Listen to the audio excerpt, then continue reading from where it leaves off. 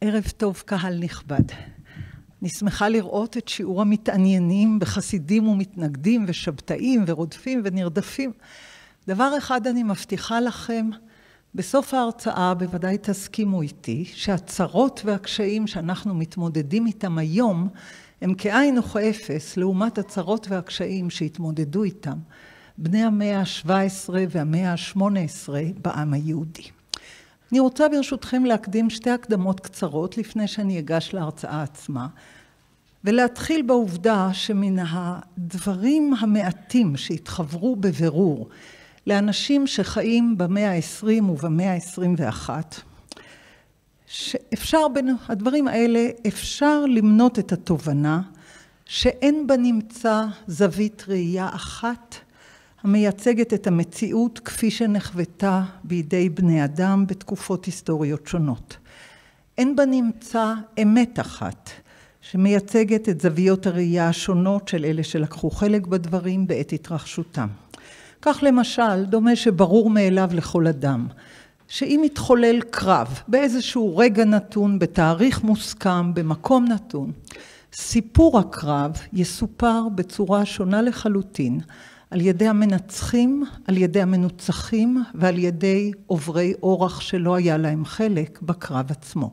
כלומר, אין מחלוקת על העובדות. התאריך מוסכם, המקום מוסכם, הצדדים הלוחמים מוסכמים, אבל סיפור הקרב בהחלט יכול להיות שונה לחלוטין אם הוא מסופר כאמור מצד המנצחים, מצד המנוצחים או מצד הצופים האובייקטיביים לכאורה. במקומות של מחלוקת יש מעט מאוד צדדים אובייקטיביים. מה שאני רוצה לנסות לעשות בזמן שמוקצב לנו זה לקחת אתכם למסע לעבר הרחוק בשליש האחרון של המאה ה-17 ולאורך המאה ה-18 בשעה שחייהם של יהודים רבים מספור עמדו ממש בסכנת מוות, לא כמטאפורה אלא כממשות מוחלטת. ב-1648-49, וכאן כבר יש לנו דוגמה למה שאמרתי במשפט הפתיחה, ב-1648-1649 התרחשה מלחמת האזרחים הקוזקית, שמבחינת היהודים נקראת גזרות תח ותת או פרעות חמלניצקי. אם נשאל את הקוזקים או את האוקראינים שהיו מעורבים במלחמה נגד הפולנים, הם יספרו לכם על מלחמת החירות של האוקראינים הפרבוסלבים המשועבדים, בפולנים הקתולים המשעבדים האצילים בעלי האדמות, והיהודים שהיו באמצע כעושי דברם של הפולנים וכמשעבדים את האיכרים, נרצחו בהמוניהם. האוקראינים כל כך אסירי תודה למפקד המרד שקראו את כל חבל פודוליה שבו ענייננו חבל חמלניצקי. בעיניהם חמלניצקי הוא גיבור לאומי שאין דומה לו. ראוי לקרוא על שמו את כל חבל פודוליה העצום באוקראינה ועוד לקרוא ערים שונות ונהרות וגשרים על שמו, הוא אצלם גיבור עיקרי. ואילו אצלנו, בהיסטוריה היהודית של המאה ה-17, בספרים כמו טיטה יוון, יוון מצולה, וכותרות שונות של ביטויי רדיפה ומצוקה, חמלניצקי נקרא תמיד חמלניצקי הרשע. בעיניהם של היהודים הוא לא היה משחרר והוא לא היה מנהל מלחמת אזרחים, אלא הוא היה רוצח של עשרות אלפי יהודים. שיעור הנרצחים בפרעות ת"ח ות"ט שנוי במחלוקת חוקרים. יש ממעיטים ויש מרחיבים. בני הדור דיברו על מאות אלפי נרצחים, היסטוריונים בני ימינו טוענים שהמספרים מופרזים. מכל מקום, מבחינת התודעה היהודית, עיקר מניינו ובניינו של קהל ישראל באוקראינה, באזורים שקוראים להם פודוליה וגליל קיוב וגליציה, רוב מניינו ובניינו של עם ישראל בתחומים האלה, וזו הייתה הקהילה היהודית הגדולה בעולם, נהרג על לא עוול בכפו.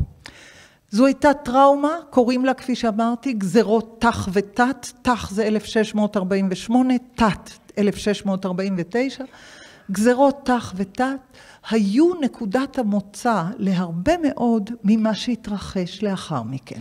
על העובדה הזו אין חולק. כלומר שאלפים נרצחו, שיישובים שלמים נהרסו, שחבלים שלמים כף רגל יהודי לא דרכה בהם לאחר מכן, זו הייתה עובדה. אבל מה היה לאחר מכן? מה הייתה התגובה למציאות הזו? אחת התגובות, וכאן חשוב להודיע שבשלושים השנים האחרונות של המאה ה-17, פודוליה, עם או בלי יהודים, הייתה תחת שלטונה של האימפריה העות'מאנית. העות'מאנים אלה הטורקים של היום, בעברית קראו להם טוגרמה, מלשון טוגר, המלך של הטורקים. טוגרמה או הטוגרים או האימפריה העות'מאנית שלטה על פודוליה בשלושים השנים האחרונות של המאה ה-17.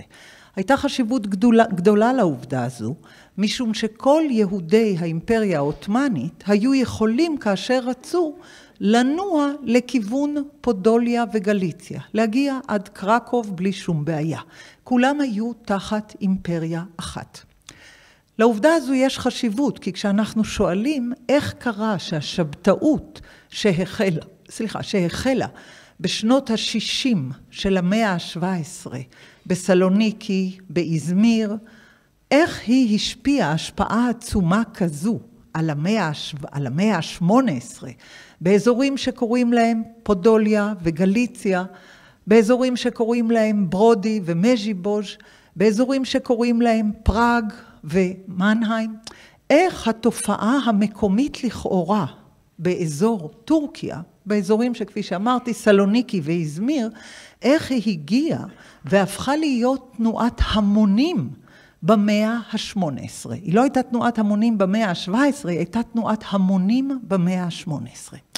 איך זה קשור לענייננו? אין לי ספק שכל מי שיושב כאן באולם, ששפת צוותותיו הייתה יידיש, יודע היטב להגיד אם הוא ממשפחה של חסידים או מתנגדים.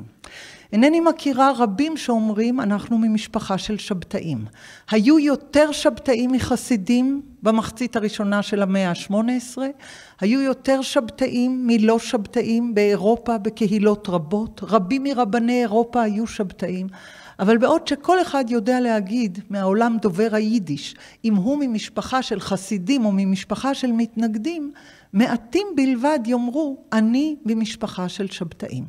ובכן רבים מאיתנו, באופן בלתי נמנע, בהחלט שייכים גם לשבתאים, כי השבתאים היו מציאות דמוגרפית רבת מימדים ביהדות אירופה בשלהי המאה ה-17 ובמאה ה-18. אבל כדי להבין את כל זה, אני צריכה להקדים עוד הקדמה אחת כדי להבין מה אני מנסה לעשות. אני רוצה להקריא משפט של הסופר ויליאם פוקנר, מהסופרים החכמים במאה העשרים, שאמר ככה: המציאות היא תמיד לא אחידה, מסוכסכת, מלאת סתירות. הדרך היחידה לארגן אותה בתבנית משמעותית אחידה היא לנסות לספר סיפור. המציאות שאני רוצה לדבר עליה היא בהחלט לא אחידה, מסוכסכת ומלאת סתירות. אין ספק שיש זוויות ראייה שונות עליה, ואם היא תסופר מפי החסידים או מפי המתנגדים, מפי השבתאים או מפי הרבנים הרודפים, היא בהחלט תסופר בצורה אחרת. אבל כמו שאמר פוקנר, ואני חוזרת שוב, המציאות היא תמיד לא אחידה, מסוכסכת, מלאת סתירות. הדרך היחידה לארגן אותה בתבנית משמעותית אחידה היא לנסות לספר סיפור. סיפור הוא לעולם טקסט, וזו ההקדמה האחרונה שאני רוצה להקדים לפני שאנחנו נכנסים לגופי הדברים. המילה טקסט, המילה טקסטיל והמילה טקסטורה שלושתן נגזרות מהפועל הלטיני טקסרה, שעניינו לארוג, weaving, לארוג, הריגה. בטקסט אנחנו הורגים מילים, מצרפים ושוזרים וקושרים מילה למילה. טקסטיל זה בד, זוכרים טקסטיל שמפו? טקסטיל זה בד. מלטינית טקסרה, לארוג, מארג, משזר, בד. כל בד מורכב משתי וערב. שתי מלשון תשתית, כמו אבן השתייה. ערב מלשון תערובת. מה שאני רוצה לנסות לעשות זה לארוג את השתי והערב, את מושגי התשתית של המאה ה-17 וה-18 של העולם היהודי, עם חוטי הערב, התערובות החדשות שנהרגו והסתרגו באופן מפתיע בעולם שהיו בו ארבעה חוטי שתי חשובים ביותר, ואני אסיים את ההקדמה הזו בהסבר שהמילה מסכת, לידיעתכם, היא נול במקורה, נול שהורגים עליו. מסכת כמו מסכת בתלמוד, אינה אלא מסכת שעליה נהרגים מילים, זיכרונות, סיפורים, שירים וכיוצא באלה. כלומר, מסכת נול או כלי אריגה. טקסט, טקסטיל וטקסטורה, אריגה ומשזר של זיכרונות וסיפורים ומספרים, עוסקים באותו הדבר, ביצירה של טקסטורה שמורכבת משתי וערב. מהם חוטי השתי של הסיפור שאני אקרא לו בכותרת משנה, הכל נשאר במשפחה. תזכרו את הביטוי הזה, הכל נשאר במשפחה, בפעם הבאה ששואלים מה העניין של חסידים ומתנגדים ושבתאים ורודפים ונרדפים, חלק גדול מזה אלה סיפורים אישיים ביותר, סיפורי משפחות וחשבונות, כי בני אדם אינם משתנים כלל ועיקר. אבל מה היו חוטי השתי שעליהם נהרגו חוטי הערב? נתחיל מהעובדה שברגע שמדברים על חסידות, מדברים על ישראל בעל שם טוב, שגדל בפודוליה שלושת העשורים הראשונים של המאה ה-18, שעליהם אנחנו יודעים כמעט שום דבר. לעומת זאת, בשנות ה-40 וה-50 של המאה ה-18, ישראל בעל שם טוב הופך לדמות ציבורית ראשונה במעלה, שאנשים מקשיבים למה שיש לו לומר. מה אומר ישראל בעל שם טוב בשנות החמישים? הוא אומר שהוא כועס מאוד על הרבנים שבוני, שבודים הקדמות שקרים מליבם. אני חוזרת, ישראל בעל שם טוב אומר, אני כועס מאוד על הרבנים שבודים הקדמות שקרים מליבם. מי הם הרבנים שבודים הקדמות שקרים מליבם? אלה הרבנים שהביאו לכך שב-1759 אלפיים יהודים הוכרחו להמיר את דתם בגלל הרבנים. אלה הרבנים שבודים הקדמות שקרים מליבם, אנחנו מדברים פה על מספרים גדולים. אלפיים אנשים הוכרחו להמיר את דתם בלבוב, בקתדרלה, בעקבות ויכוח בין שבתאים פרנקיסטים לרבנים. בראש הרבנים עמד רב חיים רפופורט מלבוב. מה אמר לו המנהיג של השבתאים, אלישע שור מרוהטין, ממשפחת שור המיוחסת והנכבדה שרבנים, רבים מרבני אשכנז נמנים עליה? הוא היה מנהיג שבתאי.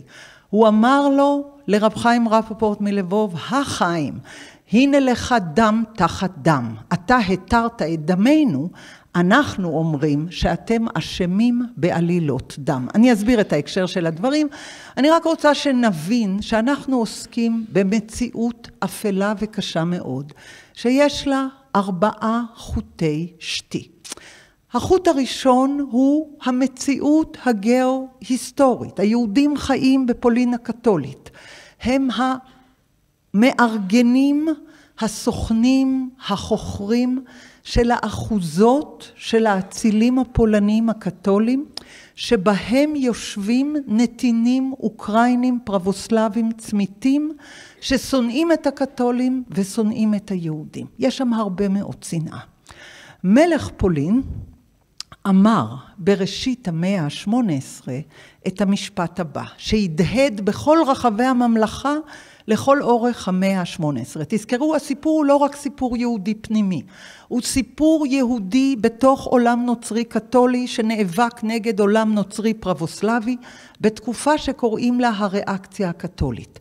הקתולים הפולנים מפחדים מאוד מהתפשטות הפרוטסטנטיות בארצות השכנות, בארצות כמו גרמניה, בארצות כמו דנמרק, בארצות כמו, הול, כמו הולנד, הם מאוד מפחדים, אנשי פולין הקתולית, מהתפשטות הפרוטסטנטיות. והם נכנסים לתקופה שקוראים לה הריאקציה הקתולית, כלומר, הם הופכים לפונדמנטליסטים יותר, לרודפים יותר, לאכזרים יותר, ומחפשים אשמים בכל מקום. השעיר לעזאזל המתבקש היה היהודים, למרות שהם לא קתולים ולא פרוטסטנטים. מה אמר מלך פולין על היהודים? משפט שהרעים בכל רחבי הממלכה, ככה הוא אמר. היהודים הכופרים הנבלים שופכים דמי ילדים נוצרים בסתר ובאופן מחריד לב הצועק לנקמת אלוהים. את המובאה הזו הביא שמעון דובנוב בדברי ימי עם עולם, אני חוזרת, הדובר הוא מלך פולין, השנה היא 1712, התקופה היא ימי נעוריו של הבשט, היהודים הכופרים הנבלים שופכים דמי ילדים נוצרים בסתר ובאופן מחריד לב הצועק לנקמת אלוהים. בעשור שנאמרו בו דברי המלך הייתה שורה של עלילות דם. בסנדומייז' בצוזמיר הייתה עלילה ב-1698, עלילה ראשונה ועלילה שנייה ב-1710. בפודהייצה הייתה עלילה ב-1699, באופטוב ב-1706, ב-1713 ובלבוב ב-1710. הדברים של מלך פולין, וזה רק בעשור אחד, היו עוד הרבה מאוד. הדברים של מלך פולין הביאו את אצילי פולין להכריז את ההכרזה הבאה. ככה אומר אחד ממנהיגי אצילי פולין, אני מצטטת באנגלית, I have decided in company with other men of honor to exterminate the Jewish people. בתרגום, אני החלטתי, יחד עם אנשי כבוד אחרים, להשמיד את העם היהודי. הציטוט הוא מדברי ליאון פוליאקוב, מהיסטוריה של האנטישמיות. יש הרבה מאוד ציטוטים כאלה. כלומר, היהודים חיו במציאות שכולם היו משוכנעים שהם חוטאים ברצח ילדים נוצרים. כדאי להזכיר עובדה מילונית וגם תמיד כדאי לזכור שהמילון זה הספר היחיד שאף פעם איננו משקר. המילון מתעד כל מציאות מילולית שניתנת לתיעוד במילים. המילה עלילת דם באנגלית נאמרת או מתורגמת כ-blood libel. על blood libel נכתבו אלפי עמודים ואלפי מחקרים ומאות כרכים.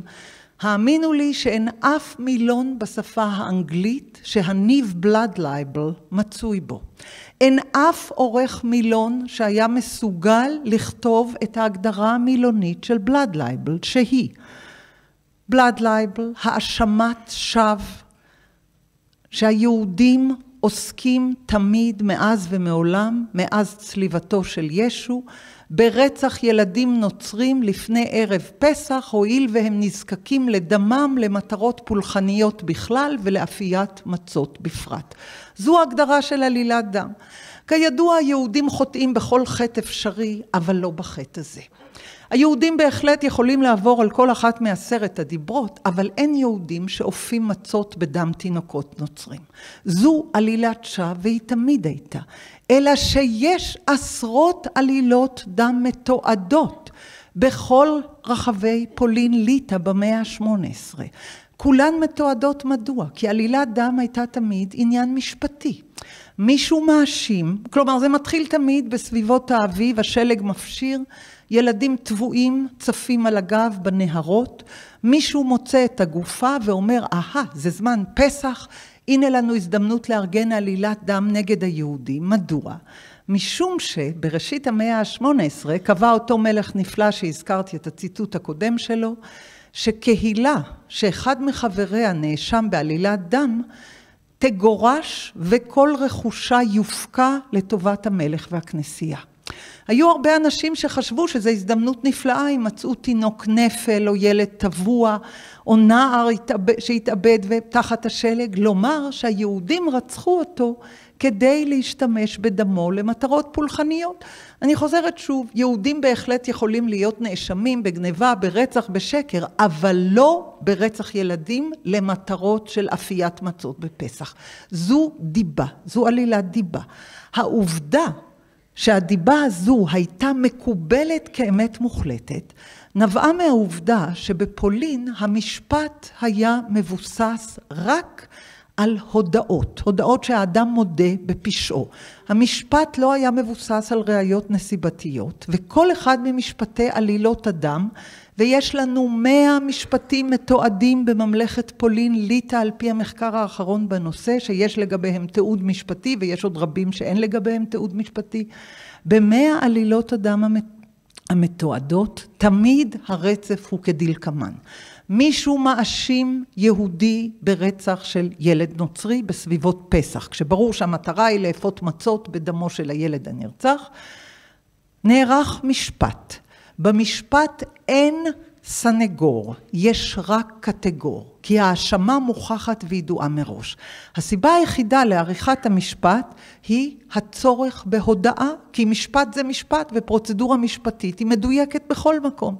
המשפט הקתולי בפולין, שמבוסס על חוקי מגדנבורג, טען שהנאשם חייב להודות במה שמיוחס לו לפני שמוציאים אותו להורג. כדי להאשים, כדי לגבות הודאה, היו מענים את הנאשמים בעינויים מחרידים. והנאשמים האומללים, שהעינויים המחרידים שעינו אותם עולים על כל דמיון, היו לא רק מודים בהחלט שהם שרצחו והם שהרגו והם ששתו דם ילדים, אלא גם מעלילים ומפלילים את היהודים האחרים משום שהם רצו להינצל. הייסורים היו כאלה שהם לא יכלו לעמוד בכאבים. וכל הנהרגים בעלילות דם ללא יוצא מן הכלל הפכו להיות למקדשי השם. ישראל בעל שם טוב לא כתב ספרים. הוא גם לא כתב מסות ארוכות. הוא כתב מכתב אחד ויחיד שמיוחס לו בוודאות. המכתב הזה נכתב כתוצאה מעלילת דם בזסלב, שבה רב העיר ברח, 14 אנשים הוצאו להורג בעינויים קשים, כל הקהילה כל הקהילה נרדפה, הוחרמה וכן הלאה, וזו הייתה רק הראשונה בעלילות הדם בשנות ה-40 וה-50 של המאה ה-18. באותו זמן, 1747, הייתה עלילת זסלב, לאחר מכן, 1748, עלילת דואינגרוד, באותה שנה עלילת שפטובקה, אחר כך עלילת צאנז, אחר כך עלילת ימפול, אחר כך עלילת אה, ז'יטומיר.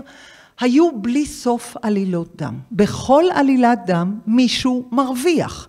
כי אם אתה מצליח להאשים את היהודים, אתה מחרים את הרכוש שלהם, וליהודים יש רכוש פרטי וציבורי. אתה גם מצליח עוד דבר, וזה הרבה פעמים הייתה העילה לעלילות הדם. לא רק שאתה מחרים את הרכוש, אלא אתה פטור מלשלם חובות לאלה שלווית מהם כספים. כי אם מגרשים את כל הקהילה, אין שום צורך לשלם את החובות שבעלי הבנקים היהודים או בעלי הכספים היהודים היו לווים למלווים הלא יהודים. על פי העולם הקתולי אסור להלוות בריבית משום שזו עבירה. רק היהודים היו רשאים להיות בנקאים משום שהתלמוד התיר ליהודים את חוקי הריבית המקראיים ונתן להם אפשרויות שונות להלוות למרות שבתורה אכן כתוב במפורש שאסור ללוות ולהלוות בריבית. היהודים היו מלווים בריבית משום שהקתולים לא היו יכולים להיות מלווים בריבית כי הכנסייה אסרה עליהם את זה לחלוטין. מכל מקום, כאשר היה למשל הגמון שלווה הרבה מאוד כספים מהיהודים ולא רצה להחזיר, הוא היה מאוד שמח למצוא הזדמנות לעלילת דם שאז מגרשים את, המל... מגרשים את הבנקאים, המלווים, ופטורים מן החוב. אלה אינם דברים בעלמא, אלא זה המקרה של הבישוף סולטיק שלווה הרבה מאוד כספים למשחקי קלפים ויזם את עלילת פבליץ' ז'יטומיר, וזה הסיפור של הבישוף דמבובסקי שהסתבך בחובות למלווים יהודים ולא רצה להחזיר את הכספים ושמח מאוד למצוא תינוק נפל ולהגיד שהיהודים הרגו וכן הלאה. כל זה חשוב לנו כדי להבין שהיהודים כקבוצה כוללת היו נרדפים מאין כמותם. כל כך נרדפים שקשה לתאר כמה רע זה היה. כל יהודי בלי שום קשר לאורחות חייו וכל יהודייה היו יכולים למצוא את עצמם במאה ה-18 נאשמים בעלילת דם במהירות אדירה. בכלל בלי שום היסוס אדם הולך לתומו ברחוב ומישהו אומר זה הוא שרצח את הילד הזה והזה ואז מתחיל המשפט. עכשיו שימו לב, לעלילת דם יש תמיד שלבים קבועים. א', יש נאשם, ב', מתכונן משפט, ג' מענים את הנאשם בעינויים כדי שיחתום על הודעה, ד' מוציאים אותו להורג. אפשרות אחת להימלט מההוצאה להורג הייתה להתנצר. רבים התנצרו כדי להימלט מההוצאה להורג. עד כאן זה היה סדר הדברים בכל עלילות הדם.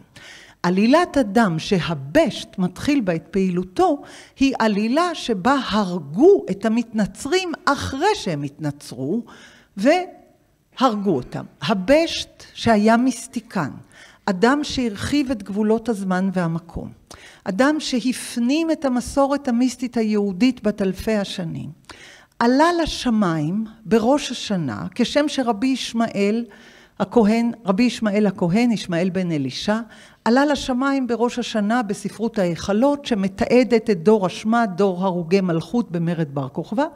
רבי ישמעאל עלה לשמיים כדי לשאול מדוע נגזרה גזרה מחרידה על עשרה מטובי גיבורי ישראל, רבי עקיבא, רבי ישמעאל ואחרים, להיהרג על לא עוול בכפם. הוא קיבל תשובה בשמיים שהסבירה את הנסיבות שבהם אנשים חפים מפשע נהרגים, והתשובה שהוא קיבל הייתה שכדי שרומא שהחריבה את ירושלים תחרב, מוכרחים להעלות קורבנות אדם כדי לקרב את, הביע... את העידן המשיחי שבו סמאל, הנציג של רומא או השר של רומא, ייהרג ורומא תחרב. תזכרו שזו התקופה שירושלים חרבה, ארץ ישראל נכבשה, רבים הוגלו, זו הייתה תקופת משבר וזה, הנקודה המחברת היא שרבי ישמעאל עלה לשמיים בראש השנה כדי לשאול על עילת ההריגה בסיפור עשרת הרוגי מלכות של אנשים שלא חטאו, שנהרגו ונענשו על דבר שלא עשו. התשובה מורכבת ולא כולה לענייננו, רק דבר אחד לענייננו. כשהבעל שם טוב עולה לשמיים, הוא פוגש את סמאל. אותו סמאל שעליו מספרת ספרות ההיכלות, בסיפור עשרת הרוגי מלכות וגזרות החינם והאשמות השווא וכן הלאה. מה שואל הבשט את סמאל בשמיים? אני רוצה להקריא לכם. דקה אחת.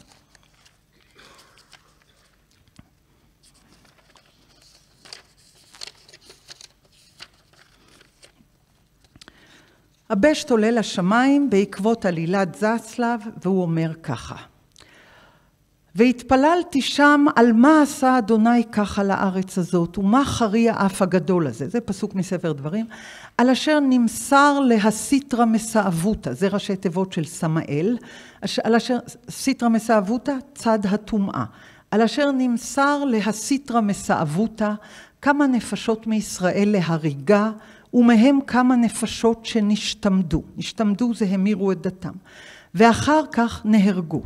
ונתנו לי רשות לשאול את פי הסיטרא מסאבותא בעצמו, ושאלתי את פי הסיטרא מסאבותא מה ראה על ככה, ומה דעתו בזה שימירו דתם ואחר כך נהרגים.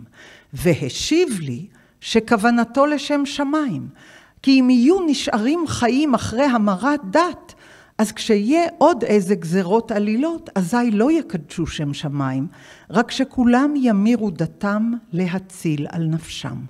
לכך היה פעולתו שאלו שימירו דתם נהרגו אחר כך, ועל ידי זה לא ימיר דתו שום בן ישראל ויקדשו שם שמיים. זה כך כותב הבשט לגיסו שנמצא בארץ ישראל, והאיגרת ממשיכה, אבל לענייננו חשוב לי רק שני דברים. שני חוטי השתי המרכזיים בחייהם של יהודי מזרח אירופה בתקופה הרלוונטית שאנחנו מדברים עליה, במחצית המאה ה-18 היו סכנת ההמרה מצד אחד וסכנת עלילות הדם מצד שני. היו הרבה יותר מומרים משהיו עלילות דם, אבל אני רוצה שנבין שההמרה הייתה איום שריחף על הקהילה היהודית, המרת הדת, ועלילות הדם המחרידות היו איום נורא שריחף על הקהילה היהודית. התעודה היחידה שיש לנו מהבשט, שקוראים לה איגרת עליית הנשמה, היא זו שממנה הקראתי עכשיו את תיאור השיחה שלו עם סמאל.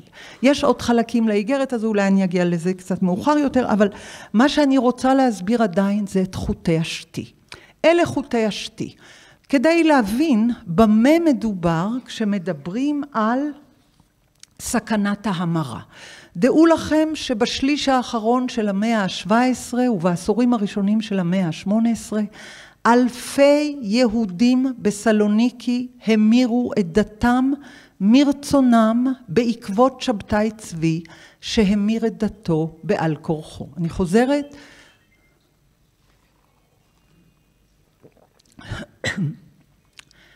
אחרי שנת 1683 אלפי יהודים המירו את דתם בסלוניקי ובאזמיר מרצונם בעקבות שבתאי צבי שהמיר את דתו בעל כורחו.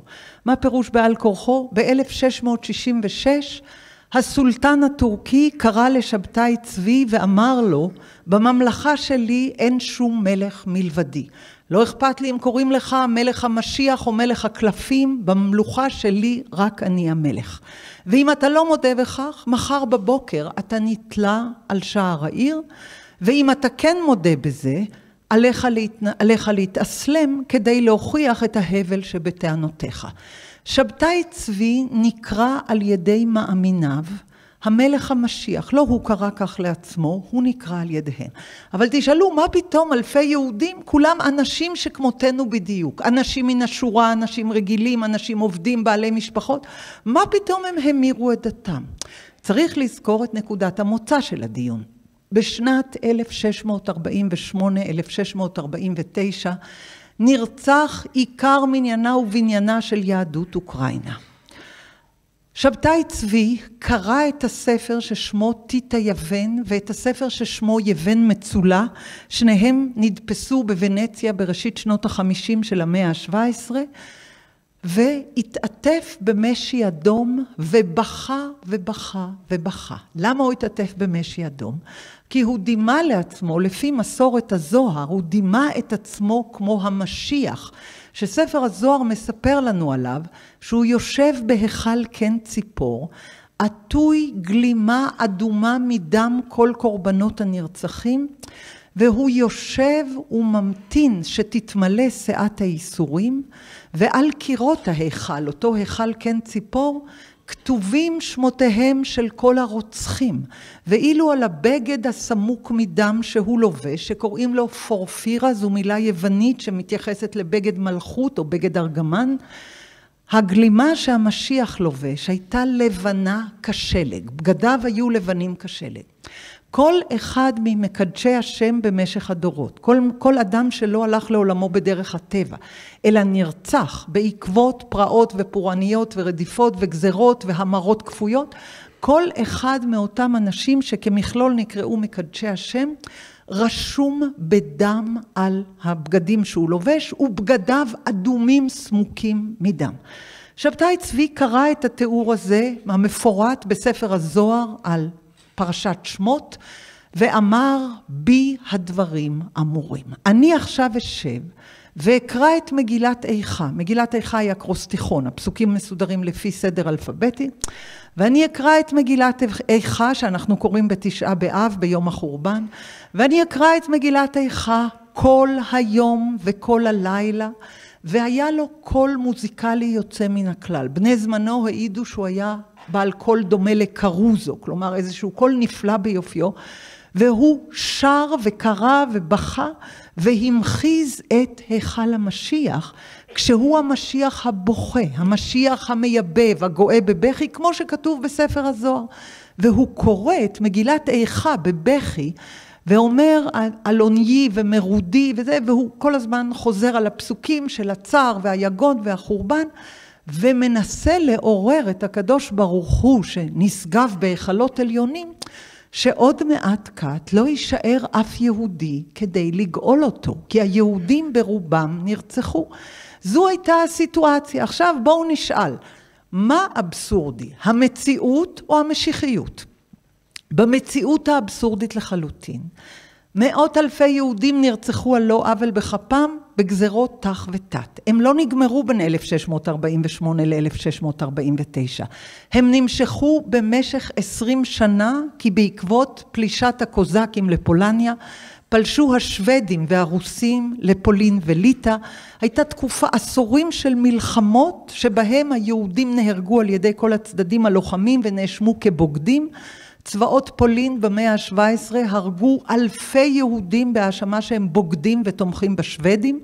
השוודים היו היחידים שלא הרגו את היהודים, השוודים הם פרוטסטנטים, הקתולים היו קתול, אה, הפולנים הם קתולים, המאבק היה מאבק בין דתי ופוליטי וכן הלאה, היהודים נהרגו על ידי כל הצדדים. שבתאי צבי כאמור קרא לאלוהים אחרי שהוא קרא את טיטה יוון ואחרי שהוא קרא את יוון מצולה ושני הספרים מפרטים בדיוק היסטורי, נתן הנובר המחבר של טיטה הוא ההיסטוריון הראשון היהודי המפרט בפרטי פרטים את מה שקרה בגזרות ת"ח ות"ט. הוא מתאר תיאורים מחרידים, איך קוראים את הבטן של נשים הרות ומכניסים חתולים לתוכם ואיך דורכים על ספרי תורה וקוראים אותם ואיך שורפים בתי כנסת ואין סוף לזוועות. אי אפשר לתאר את עוצמת הזוועות והאכזריות והז... וכל כיוצא באלה. וכששבתאי צבי קרא את התיאורים המחרידים של טיטה יוון שכולו באינטרנט ויבן מצולה שכולו באינטרנט. הוא פשוט אמר אי אפשר להמתין עוד, מוכרחים להזעיק שמיים וארץ, להקדים את הגאולה. ולגאולה הזו היה צד מוסווה. הגאולה הייתה לא רק לגאול את הנותרים, אלא גם לנקום את נקמת הנרצחים. בתודעה של יהדות אשכנז מאז מסעי הצלב למשיחיות יש גם אלמנט נוקם. אלא שהנקמה היא בידי שמיים, לא בידי אדם.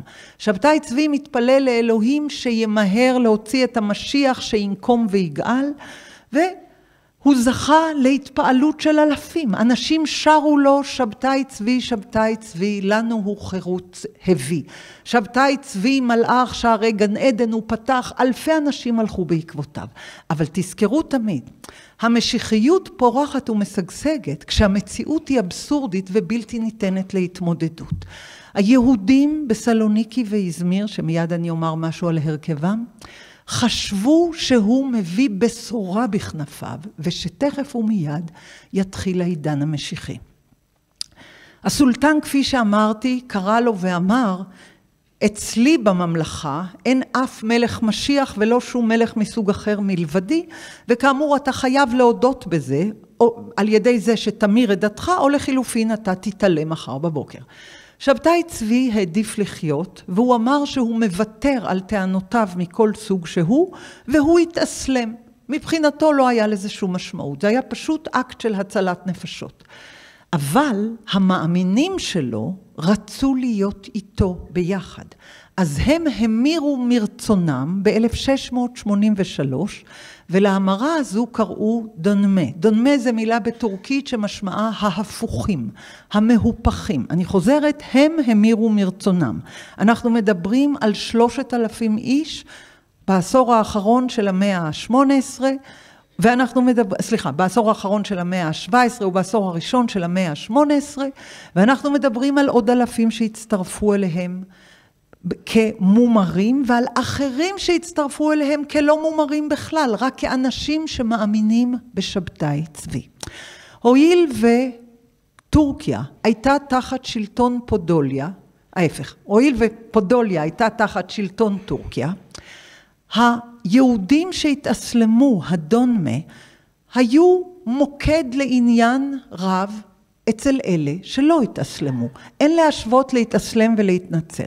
להתאסלם זה כל מה שמבקש מהאדם זה לומר שהוא מאמין באלוהים ובמוחמד נביאו ולעשות עם השרשרת עם המסבכה ולהתפלל כמה פעמים ביום במסגד בעיקרו של דבר ולשמור מצוות שהן בהחלט כמו מצוות התורה.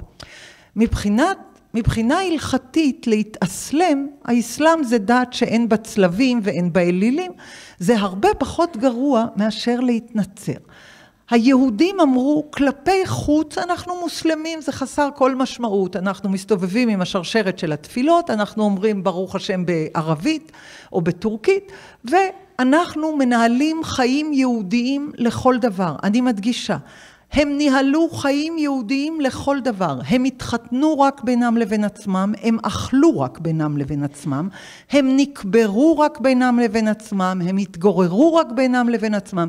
הם היו יהודים לכל דבר. הם לימדו את הילדים לקרוא ולכתוב בעברית, כשאר קהילות ישראל את הילדים הבנים. הם לימדו אותם לומר תהילים כל יום. הם לימדו אותם שהיה מוסלמי בצאתך ויהודי בביתך. איך הם היו יכולים לעשות את זה? מסיבה אחת פשוטה. במשך מאות שנים קודם לכן, חלק עצום מהעם היהודי חי כך בדיוק. בספרד ובפורטוגל היו אלפי אנוסים. כולכם שמעתם על האנוסים, על המרנוס, מה שלא הבאתם בחשבון קרוב לוודאי, שהם לא התפוגגו. גירוש ספרד היה ב-1492, ההמרה הכפויה על כל יהדות פורטוגל, לא נתנו להם ברירה, המירו אותם בעל כורחם, ב-1497, השאירה במאה ה-16 אלפי יהודים בספרד ובפורטוגל, שהיו חייבים לחיות כנוצרים כלפי חוץ, והיו חייבים מבחינתם לחיות כיהודים כלפי פנים, והם חיו בזהות כפולה. ברגע שהחלה המאה ה-17, התחולל מבחינתם שיפור עצום. הפרוטסטנטיות החלה ללבוש צביון פוליטי. מדינה כמו הולנד הפכה לפרוטסטנטית, ויהודי פורטוגל, הנוצרים לכאורה הקתולים, התחילו לזלוג בשקט לכיוון המדינה הפרוטסטנטית הולנד, וביקשו רשות בשקט לחזור שם ליהדותם.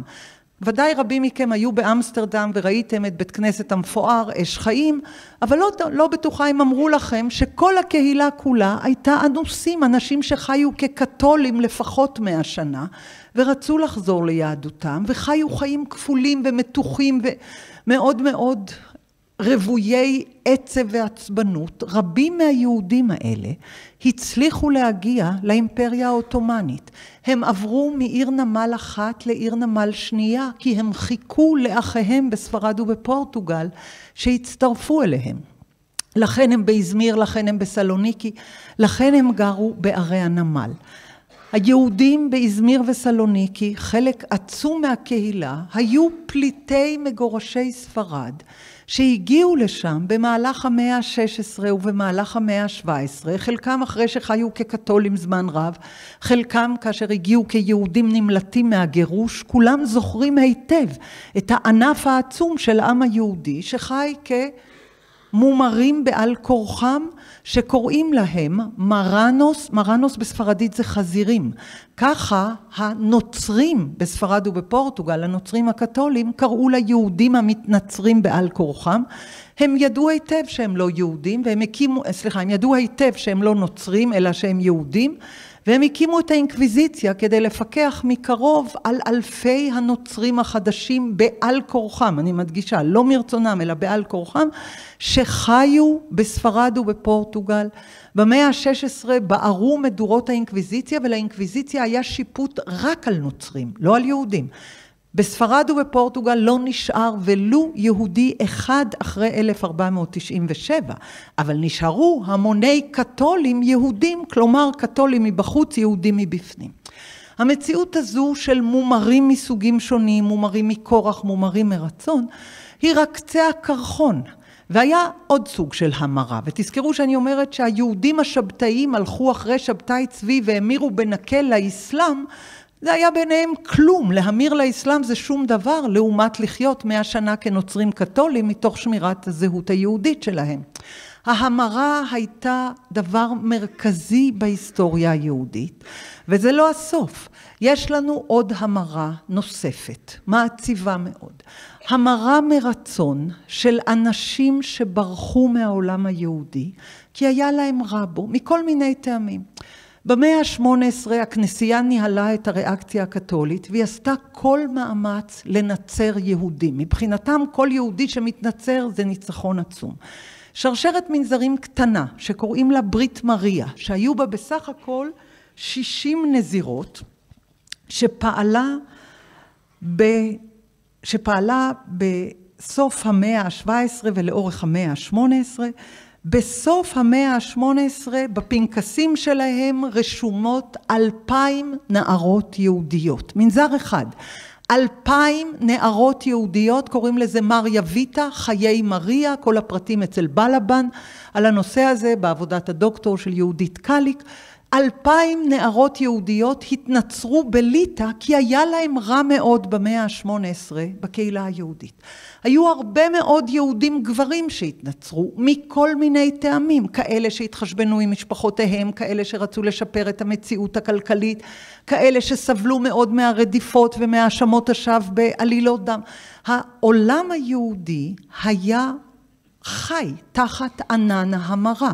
ולכן אומר הסמאל לבעל שם טוב באיגרת שקראתי, ואני אחזור רק על המשפט האחרון, לכן כשהבש שואל אותו מה ראה על ככה, ומה דעתו בזה שימירו דתם ואחר כך נהרגים, והשיב לי שכוונתו לשם שמיים, כי אם יהיו נשארים חיים אחרי המרת דת, אנחנו מדברים פה על מומרים של עלילות דם, אחרי והשיב לי שכוונתו לשם שמיים, כי אם יהיו נשארים חיים אחרי המרת דת, אז כשיהיה עוד איזה גזרות עלילות, אזי לא יקדשו שם שמיים, רק שכולם ימירו דתם להציל על נפשם. לכן, פעול, לכן הייתה פעולתו שאלו שימירו דתם נהרגו אחר כך, ועל ידי זה לא ימיר דתו שום בר ישראל ויקדשו שם שמיים. אני יכולה להמשיך עוד באלפי תעודות ושורות ותיאורים של הטרגדיה של המאה ה-18 בין מומרים מרצון ומומרים מכורח ואיומי המרה וכן הלאה. אני רק רוצה לחזור למה שאמרתי בראשית דבריי. הסיפור שלנו מתחיל בשנות החמישים כשהבעל שם טוב צועק במר ליבו על הרבנים שבודים הקדמות שקרים מליבם. למה? מתי הוא אומר את זה? אחרי שהרבנים גרמו לאלפיים שבתאים, כולם יהודי גליציה ופודוליה, להמיר את דתם נגד רצונם. למה הם עשו את זה? כדי להבין את הסיטואציה, אלפיים איש, זה לא אחד או שניים. כדי להבין את הסיטואציה אנחנו צריכים לגשת כרגע לחלק השני של הסיפור. אבל לפני זה משפט אחד על הבעל שם טוב. הבעל שם טוב כאמור עולה לזירת ההיסטוריה במכתב שהוא כתב לגיסו רב גרשון מקוטוב המקובל שגר בארץ ישראל, שבו הוא מספר לו על עלילות הדם ועל השיחה שלו עם המשיח. את המשיח, עם המשיח הוא מנהל שיחה של שני משפטים. הוא שואל אותו את השאלה שכל יהודי היה שואל את המשיח אילו היה פוגש אותו. מתי את תימר? מתי יבוא אדוני? או מתי תבוא? אנחנו מתגעגעים ומחכים ומצפים מזה אלפיים שנה. המשיח עונה לו, כשיפוצו מעיינותיך חוצה. כשתלמד ותלמד את מה שאני לימדתי אותך, אז אני אבוא. זה בערך מה שאומר המשיח לבשת. לעומת זאת, את השיחה הארוכה, זו שהקראתי לכם, הוא מנהל עם סמאל, בן דמותו של המשיח מצד הטומאה. המשיח הוא האינקרנציה של כל התקוות והתוחלת של היהודים בשמיים. מצד הקדושה, וסמאל, השטן, הסיטרא מסעבותא, זה הגילום שלו מצד הטומאה. המש... הסמאל אומר לו, אני גרמתי להריגת המומרים כדי שלא כולכם תמירו, זו המציאות המורכבת והטרגית. עכשיו, למה הבשט כועס על הרבנים? מי זה הרבנים שהוא כועס עליהם? כל האצולה הרבנית במאה ה-18, שעסוקה בזמן שבני עמה נהרגים מכאן ומעוללים מכאן ונרדפים מפה וכן הלאה, במה עסוקה האצולה הרבנית? בלרדוף את רבי יונתן אייבשיץ, שהוא לב הסיפור של חסידים ושבתאים ומתנגדים. לבני תורה שביניכם ואנשים שגדלו בעולם הישיבות, השם יונתן אייבשיץ שייך לשמות המוערכים ביותר בכל מקרה שמדברים על דרוש והלכה ופלפול וידענות ובקיאות. רבי יונתן אייבשיץ הוא מחבר של אורים ותומים, וקרתי ופלטי ויערות הדבש, הוא מהמחברים המרכזיים של ספרות ההלכה, הדרוש והפלפול במאה ה-18. יחד עם זאת, הוא נחשב כשבתאי בעיני כל רבני דורו. עכשיו השאלה, מהי שבתאי? מה זה שבתאי? שבתאי זה דבר אחד, זה אדם שמאמין שהחל העידן המשיחי, אדם שכופר בגבולות המציאות המחרידים שהמאה ה-18 השיתה על העולם היהודי, אדם שעוסק בכל מיני ספקולציות, איך נראה העולם המשיחי, איך נראית האוטופיה המשיחית שאנחנו מקווים אליה, מה יהיה כשאנחנו לא נהיה בגלות אלא נחיה בגאולה, כלומר בגדול להיות שבתאי זה לעסוק בספקולציות על עולמות חלופיים, לא רק לחיות בגבולות עולם המעשה, והם כולם חיו בגבולות עולם המעשה, הלוא כולם היו צריכים להתפרנס, לגדל ילדים, לעבוד וכן הלאה, ללמוד וללמד, אבל השבתאים שביניהם הוסיפו על כל ה... מרקם הרגיל של החיים היהודים בעולם המסורתי ובתקופה שאנחנו מדברים בה לא היה עולם לא מסורתי. לא היה עולם חילוני, לא היה עולם ליברלי, לא היה עולם שאדם יכול לבחור בו את הזהות החילוני דתית שלו, לא היה דבר כזה. היית יכול להיות בן קהילה דתית, היית יכול לעבור מקהילה לקהילה, אבל היית חייב להיות בן קהילה דתית. הקהילה הדתית היהודית הייתה קהילה מסורתית. כל חבריה היו חייבים לשלוח את ילדיהם הבנים ללמוד לקרוא בעברית, כל חבריה היו חייבים לשמור מצוות ברשות הרבים, לא בלבלו להם יותר מדי את המוח, אבל בהחלט דרשו שיקפידו על שמירת שבת ועל הוראה לילדים, והתנהגות נורמטיבית כשאר חברי הקהילה. עד כאן כל השבתאים התנהגו ככה בהחלט, אלא שהם הוסיפו על כל הדברים האלה הרגילים. הם הוסיפו עיסוק ספקולטיבי במה יהיה כש, מה יהיה כשיבוא המשיח, מה יהיה אם נחזור לגן עדן, מה יהיה בזמן הגאולה, זה עניין אותם. יונתן אייבשיץ בהחלט התעניין בשאלות האלה. במשך היום הוא היה עסוק בהלכה ודרוש, הוא היה הרב של בית המדרש הגדול בפראג, שהיה בית המדרש הגדול באירופה. כלומר, הוא היה מורה הלכה ודרשן ובעל פלפול מן הראשונים שבראשונים שבחלק הראשון של המאה ה-18. אלא מה? כבר ב-1725 יצאה נגדו תלונה בפרהסיה, לא בסוד, לא בשקט, תלונה כזו שחייבה אותו לעמוד ביום הכיפורים בבית הכנסת הגדול בפראג ולהישבע שהוא לא שבתאי. למה? תזכרו מה שאמרתי, הכל נשאר במשפחה. לרב יונתן, שהייתה, שהיה לו מעמד רבני ראשון במעלה, הייתה אישה, לאשתו קראו אלקלה. אלקלה הייתה בתו של רבי יצחק שפירא, אב בית דין פראג. כאמור, יונתן היה שידוך ראוי מאין כמוהו, הוא עצמו ממשפחה רבנית, הוא עצמו תלמיד חכם. הרב של פראג השיא לו את בתו אלקלה. לרב של פראג כאמור קראו רבי יצחק שפירא, לאביו קראו רבי זאב שפירא, זו הייתה ההנהגה הרבנית הגדולה בפראג, ורבי יונתן היה מחותן שלהם, החתן של הבת. אלא שלאדון יצחק שפירא, אב בית דין פראג, הייתה אחות, קראו לה מרת גיטל שפירא או איטל שפירא, והיא גרה במץ. בעלה היה רבי יעקב ריישר, וכשהוא נפטר ב-1740, חיפשו רב ראוי לקהילה במץ. מצ היא קהילה באזור לורן, אלזס לורן, וקרובה לגרמניה, חיפשו רב ראוי. פנו לרבי יונתן אייבשיץ, שיכהן כרב של קהילת מצ. אז קמה גברת גיטל שפירא ואמרה, אני בת פראג. זה נכון, היא אחותו של אב, אב בית דין פראג. אני בת פראג. ואני רוצה להגיד לכם שאני במו עיניי הייתי נוכחת בבית, הד... בבית הכנסת בפראג בערב יום הכיפורים כשכל הקהילה נמצאת וראיתי איך רב יונתן אייבשיץ הוכרח להישבע ליד ספר התורה הפתוח בערב כל נדרי שהוא לא שבתאי והוא נשבע והוא החרים את השבתאים אבל אף אחד לא מאמין לו כי כולם יודעים שהוא שבתאי. כלומר זה התחיל מזה שבת משפחתו זו, לא יודעת בדיוק איך להגדיר את הקרבה, אבל כאמור, רבי יונתן נשוי לביתו של יצחק שפירא, אחותו של יצחק שפירא היא זו שאמרה שהוא שבתאי וסיפרה במץ, הסיפור הוא על 1725, 26, הסיפור במץ הוא 1740, עברו 14-15 שנה, אבל גברת גיטל שפירא קמה ואמרה, הוא בהחלט שבתאי לפי מיטב ידיעתי, אני לא אסכים בשום אופן שהוא יירש את כס הרבנות במץ שעליו יושב, שבו כיהן בעלי רבי יעקב רייכר, זכר צדיק לברכה וכן הלאה. ובכן, היא לא הייתה היחידה. לרבי יונתן יש סיפור חיים יוצא דופן.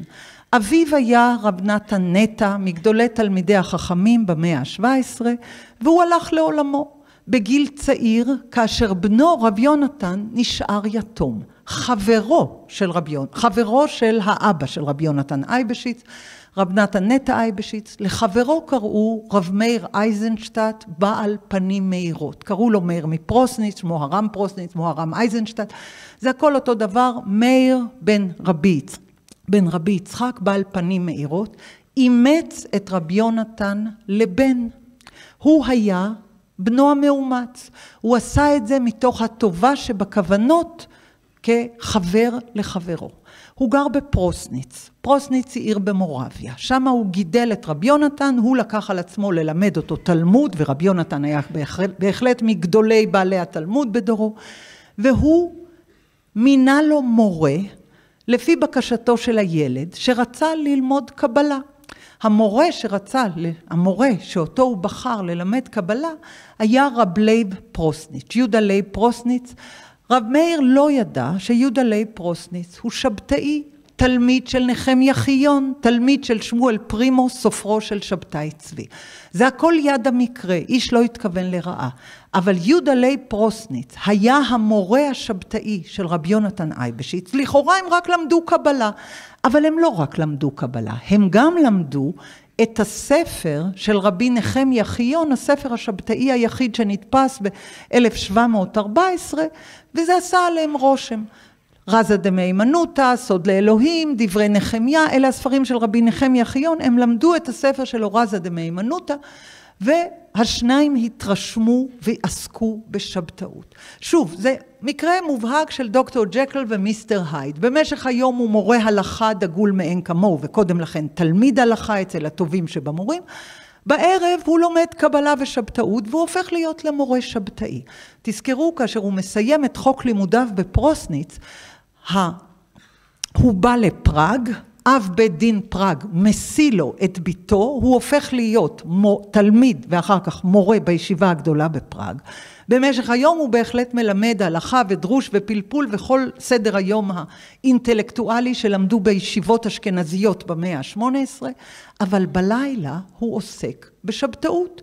במה הוא עוסק? הוא קורא זוהר עם ביאורים של שבתאי צבי, הוא קורא קבלת הארי עם ביאורים של שבתאים אחרים. כמו שאני אומרת, הקבלה והשבתאות כולם עדיין במישור הספקולטיבי. אלה רעיונות על עולמות שאינם נראים בעין. אלה רעיונות על עולמות אוטופיים, על עולמות שמימיים, על עולמות נסתרים. הם עוסקים ולומדים. אבל כשזה הגיע למינוי רבני, כמו שאמרתי, אחות, דודתו מצד הכלה, אמרה שהוא שבתאי והוא לא יזכה לכך. היה כמובן עלבון גדול ובאותו זמן משפחה נוספת נכנסת לתמונה. וכאן מתחיל הסיפור להיות מאוד מסובך. המשפחה היא משפחתו של יעקב עמדן, שלאביו קוראים חכם צבי. חכם צבי היה רב בסרייבו. גם נחמיה חיון, המורה של פרוסניץ, היה רב בסרייבו, הם התקוטטו ביניהם והסתכסכו. רבי נחמיה חיון עבר להיות רב בסקופיה. הוא היה מעוניין להדפיס ספר שיוחס לשבתאי צבי, לאו דווקא באמת הוא כתב אותו, אבל הוא יוחס לו. כנראה שאברהם קרדוזו כתב אותו. אלה כולם אנשי מעלה. הם רבנים, הם רופאים, הם משכילים, הם אינטלקטואלים, והם מתעניינים בשבתאות. בינתיים רק באופן טקסטואלי. וכאמור, בפראג יש מרכז שבתאי גדול, כי בבית המדרש בפראג מלמד יונתן אייבשיץ בלילה, אנשים שמתעניינים בכך, אלה שרוצים ללמוד קבלה ושבתאות, אחרי שבמשך כל היום הוא מלמד הלכה ודרוש וכן הלאה. או בלשון החסידים והמקובלים, במשך היום למדו את תורת עץ הדעת, ובלילה למדו את תורת עץ החיים. מה ההבדל בין תורת עץ הדעת ותורת עץ החיים? בתורת עץ הדעת טוב ורע, כן, כמו בסיפור גן עדן, עץ הדעת טוב ורע, תורת עץ הדעת, שבה יש הבחנות ברורות בין מותר ואסור, בין טוב ורע, בין יאה ופסול. על זה מושתתת התורה וההלכה שנגזרת ממנה. בזה הוא עשה כל היום. ואילו בלילה הוא לימד את תורת הקבלה שנקראה תורת עץ חיים. מה מאפיין את תורת הקבלה? היא איננה כפופה לתקדים, שלא כמו ההלכה. היא איננה כפופה לשום גבולות רציונליים. היא יכולה לחבר בין עבר, הווה ועתיד, בין טקסטים שנכתבו במאה השנייה לטקסטים שנכתבו במאה ה-12 או ה-13, והקבלה קוראת לעצמה בשם נבון ביותר, דברים חדשים עתיקים. היא מעוניינת בשבירת גבולות, היא מעוניינת בחקירת אפשרויות יוצאות דופן. היא מעוניינת בבניית עולמות שבדמיון, כהתרסה נגד העולם הזה שהיהודים חיים בו, שהוא שחור משחור לב המעפליה. והיא עוסקת ובונה עולמות בכתב. ספר הזוהר, שבו המשכילים יזהירו כזוהר הרקיע, או ספר עץ חיים, זה השם של הקורפוס הקבלי הגדול, כל זה עיסוק אינטלקטואלי. אתה כותב, אתה מדמיין, אתה דורש, אתה יוצר, אתה בונה עולמות שאין להם שום ייצוג בעולם הזה. מה עשתה השבתאות במילה אחת? היא הפכה את הקבלה מספרות אוטופית למציאות בעולם הזה. אם בקבלה כתוב שבאחרית הימים תהיה תורת עץ חיים, כאשר לא יהיה יותר חטא בעולם ונחזור לימי גן עדן, ואז אנחנו לא צריכים איסור והיתר, אלא הכל טוב, כך כתב יונתן אייבשיץ ואמר, למעשה אין שום הבדל בין טוב ורע, כי במהות הכל טוב. שוב, זה ספקולציה, זה לא שהוא חושב שזו המציאות, אבל באופן ספקולטיבי הוא כתב את זה, והיו תלמידים ששמעו ולמדו את זה, ואמרו בואו ננסה לחיות בקהילות שבאמת אין בהם טוב ורע, שבאמת הכל חסד, שבאמת הכל נפלא, שבאמת הכל נהדר, ככה שרו השבתאים וממשיכי דרכם, שבתאי צבי, שבתאי צבי, לנו הוא חירות הביא. השבתאים היו אנרכיסטים תיאורטיים קודם כל, בראש. הם ניסו לבנות עולמות חלופיים, בראש, בטקסטים, בדמיון, בהשראה. וברגע מסוים, הטקסטים הכתובים שימשו מצע לניסיונות ריאליים.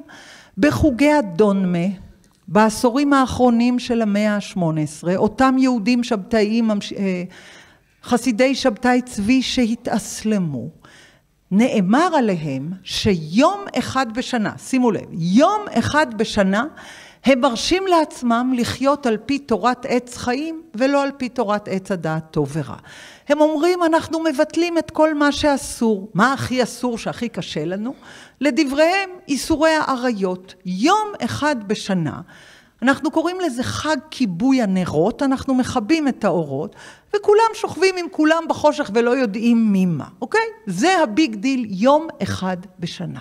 כל שאר השנה הם צנועים והם אחראים והם כול, מתנהגים כטוב ובישר, אבל ביום האחד הזה, בחושך גמור, באופן ריטואלי, הם מקיימים יחסי מין אסורים במודע, תשאלו למה? לא מתוך הפקרות, אלא כי במדרש כתוב שהמשיח ייוולד מיחסי עריות. ולכן החג שלהם הוא בדיוק תשעה חודשים לפני תשעה באב, כי זה יום הולדת המשיח. הם רוצים שאחת מהנשים שתהרה מאותו יום חג של גילוי עריות, יום אחד בשנה, כן? אני רק אזכיר לכם לצורך העניין, שכל שנה משטרת ישראל פותחת 12 אלף תיקים על אונס ועוד כמה אלפי תיקים על תקיפה מינית. ש... סליחה?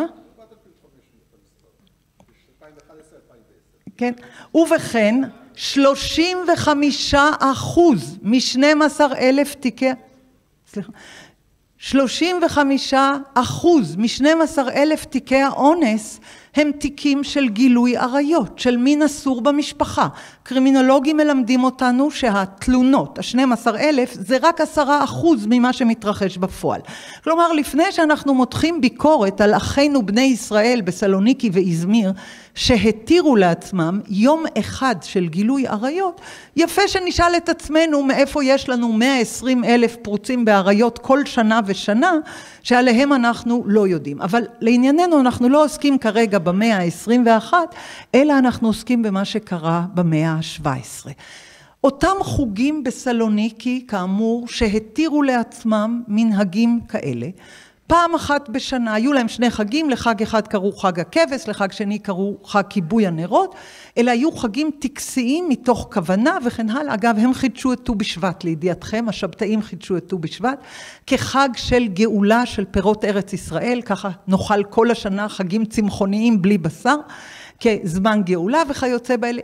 מכל מקום, הואיל והם היו קבוצה נבדלת, שהיהודים הרגילים לא רצו להכיר בהם, והמוסלמים גם לא רצו להכיר בהם, והם הכירו בינם לבין עצמם, הם קראו לעצמם המאמינים.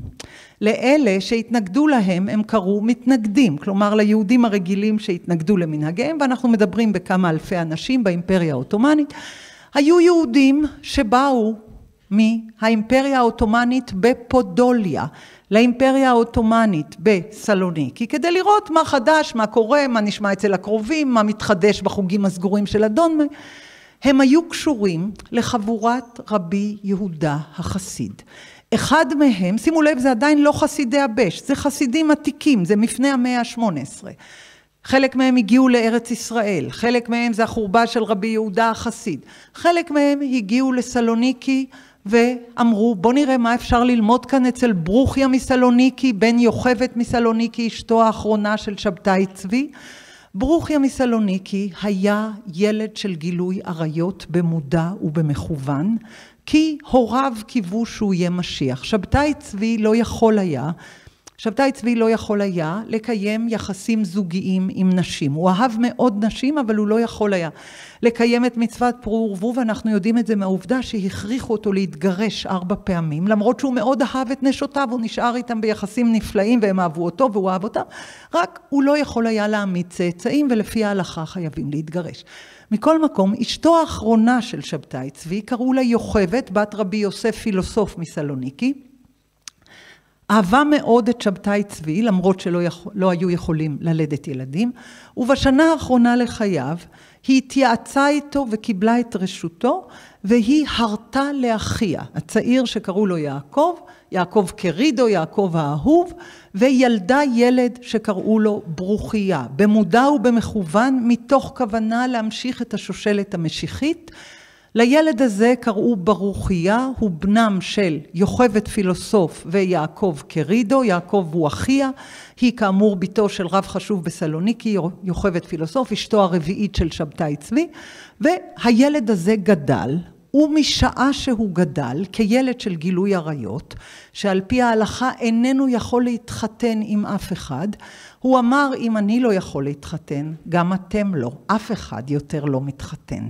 בחוגי הדונמה תחת הנהגת אה, ברוכיה רוסו, הוא אמר אם אני לא אתחתן אף אחד לא יתחתן, אתם לא תתחתנו אלא תחיו כאחים ואחיות. בתקופה הזו, בעשורים הראשונים של המאה ה-18, יעקב פרנק, יהודי צעיר מבוצ'אט שבפודוליה בגבול גליציה, נסע עם משפחתו להתחנך בחוגי הדונמה, בחוגי הדונמה בסלוניקי, הוא חשב שזה מאוד מעניין מה שקורה שם.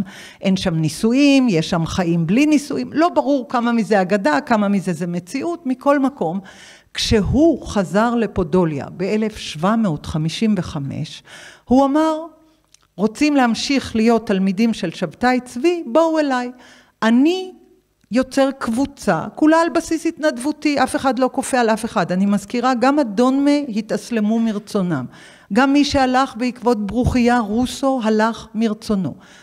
הוא אמר, אני יוצר קבוצה, חוג, ואני מזמין אתכם להצטרף. לקבוצה שלי אני יעקב, כמו יעקב אבינו, ליעקב היו ארבע נשים, גם אני רוצה ארבע נשים, ואני, כמו שיעקב אמר לנשותיו מי ומתי ולמה וכמה, ככה גם אני, אני הולך רק לפי מה שכתוב בתורה, אני לא עובר על זה, והוא יצר איזושהי קבוצה יוצאת דופן בהתנהגות שלה, שעוררה אימה ופחד בליבם של הרבנים.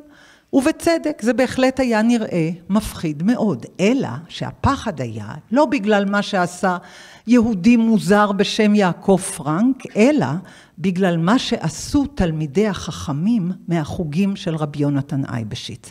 אייבשיץ יחד עם מורו יהודה לייב פרוסניץ כתבו ספר שקראו לו ואבוא היום אל העין. הספר הזה לא נדפס, הוא נשאר בכתב יד, הוא מלא ראשי תיבות וקיצורים קבליים ובקריאה מרפרפת קשה מאוד להבין על מה יצא הקצף, מדוע החרימו אותו ביום הכיפורים, מדוע רדפו אותו כל רבני אירופה, אבל היה בו מספיק לבקיאים ולמובנים כדי לעמוד על היסוד האנרכיסטי שטמון בו. הואיל והמחבר היה נחשב רבי יונתן אייבשיץ, והואיל ותלמידים בכל רחבי אירופה קראו את העתקי כתבי היד, משום שהם באו לישיבה הגדולה בפראג כדי ללמוד אצלו הלכה, אבל הם חזרו לפודוליה שלא היו בישיבות כדי ללמד גם הלכה וגם קבלה, ואנחנו לא מדברים על חוגים שוליים, אנחנו מדברים על בכירי תלמידי החכמים, שירדו לפראג כדי ללמוד כי לא היו ישיבות בפודוליה אחרי ההרס של ת"ח ות"ת, ועלו חזרה כדי עלו חזרה כדי לכהן במשרות רבניות שונות, הייתה להם בהחלט הכשרה רבנית הולמת, והם קיבלו תעודת הוראה יורה יורה וידין ידין, אבל חלק מהם, לא כולם, חלק מהם היו שבתאים. ב-1726, בגביית עדויות בבוצ'אץ', נאמר לנו על נדבורנה, על העיר נדבורנה, וכל העיר כולם שבתאים. על רוהטין אמרו כל התלמידי חכמים כולם שם שבתאים. היו ערים שלמות שקראו להם שבתאי צביניקס, שחלק היו תומכים בהם וחלק לא מתחתנים איתם. השבתאות הייתה תופעה רחבת מימדים. עכשיו תשאלו אתם את עצמכם, תעמידו את עצמכם רגע במקומם של הרבנים.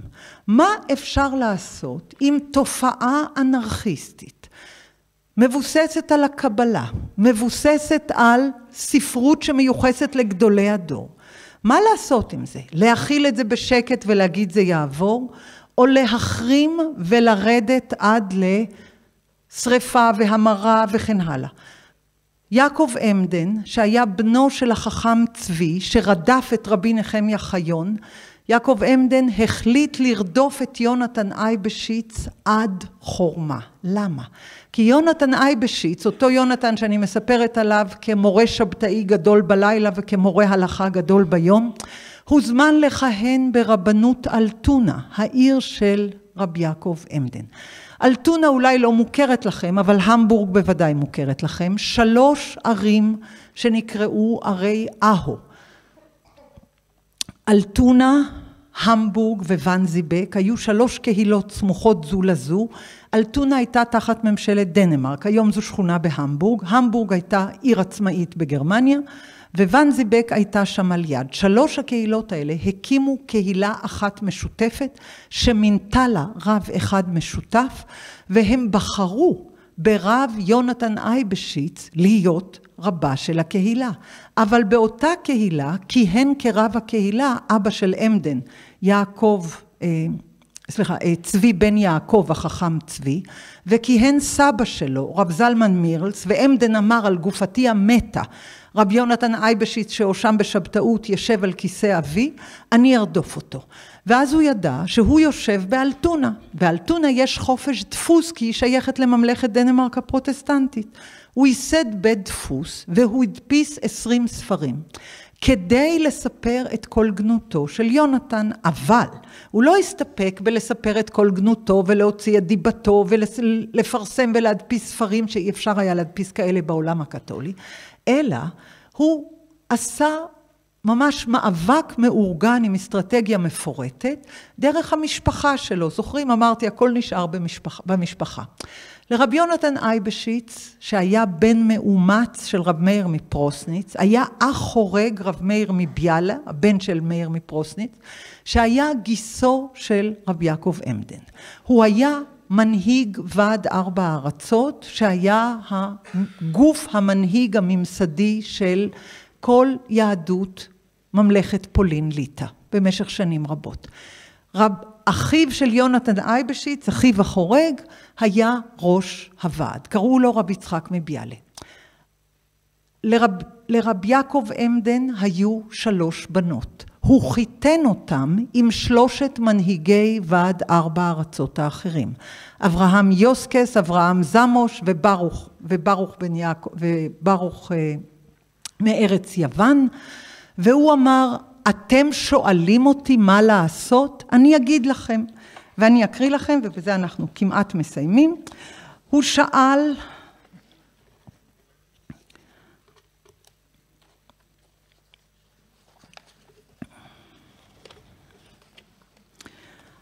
הוא ביקש מהם שישאלו אותו, שישאלו אותו מה לעשות בקשר לשבתאים. תזכרו, הוא עצמו לא ראה שבתאי אחד בעין, הוא רק ראה את יונתן אייבשיץ. אלפי השבתאים גרו בפודוליה ובגליציה. תלמידים שלמדו בפראג ותלמידי תלמידים שלמדו בפראג, והם אמרו, הם היו יהודים מהשורה בדרך כלל, לא היה בהם שום עוון ועוול מיוחד חוץ מזה שהם האמינו שהעידן המשיחי התחיל עם בואו של שבתאי צבי, אבל יעקב עמדן ששנא שנאת מוות את רבי יונתן אייבשיץ אמר, אם אני לא יכול לפגוע בו, אני אפגע בכל תלמידיו. ואז הוא, ואז הוא כתב להם ככה, אה,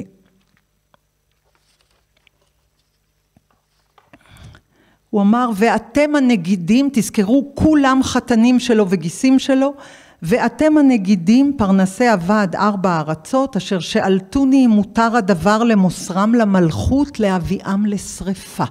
הוא פסק שצריך לשרוף את כל השבתאים. אלפי אנשים שהוא לא ראה מימיו, שהוא לא קיבל עליהם עדויות במישרין, שהוא לא בחן את מעשיהם והוא לא היה עד להם, ובני התקופה אומרים, הם היו אנשים שהיו עוסקים כל היום וכל הלילה בלימוד ספר הזוהר והעם היו יראים מהם, כן? בכל אופן יעקב עמדן פסק, ואני מצטטת ממה שהוא כותב, זה מילה במילה, ואתם הנגידים פרנסי הוועד ארבע ארצות, אשר שאלתוני אם מותר הדבר למוסרם למלכות להביאם לשרפה, אל תחושו למניינכם, ודאי מאדוני יסכימו עמכם. אשריכם אם תעמדו בפרץ ותבערו הרע מקרבכם, כי ידוע שהלכה פסוקה היא שהמינים שבישראל מורידין ולא מעלים, ו...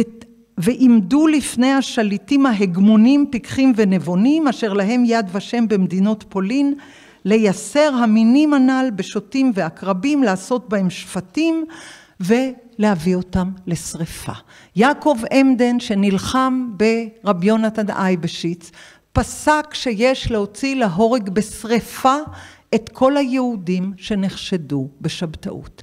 הוא לא הסתפק בזה, הוא ביקש מקרוביו להוציא חרם נגדם. לחרם הזה קראו חרב פיפיות ב-1756 ובחרם הזה נאמר ככה, כל מי שנחשד בשבתאות לא נזכיר לו, לא נזכיר לו דירה ולא נזכור ממנו, לא נמכור לו ולא נקנה ממנו, לא, נ, לא נלמד את ילדיו, לא נקבור, לא נמול, נוציא אותם לחלוטין מכלל ישראל. אלפי האנשים הרעבים והקפואים בלי בית לגור בו ובלי עבודה לעבוד בה ובלי מקום לגדל את הילדים ובלי בית כנסת להתפלל בו, נשארו מזי רעב.